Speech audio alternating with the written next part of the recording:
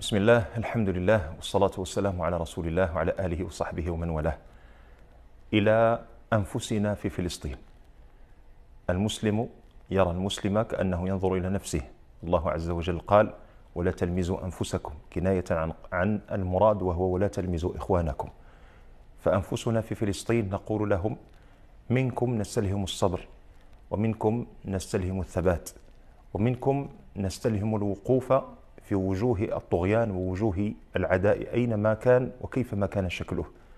أقول لكم عوض أن أقول لكم اصبروا واثبتوا.